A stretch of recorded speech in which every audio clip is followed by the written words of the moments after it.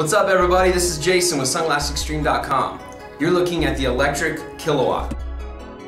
The Kilowatt is an 8-base Grilamid frame, giving quality and strength if you ever sit on your new sunglasses. It has an 8-base polycarbonate lens for durability and clarity. Also is 100% UVA and UVB protected. This is an oversized frame with an oversized electric logo on the side, giving instant brand recognition. You're looking at the electric kilowatt sunglass. It's available in a variety of colors and also optional polarized lenses.